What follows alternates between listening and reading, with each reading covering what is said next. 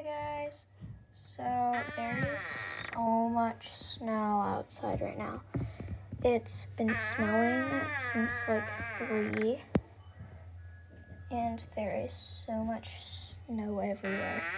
No one in my family has gone out yet to touch this, so it's just bare white snow. Well, hope this is fun.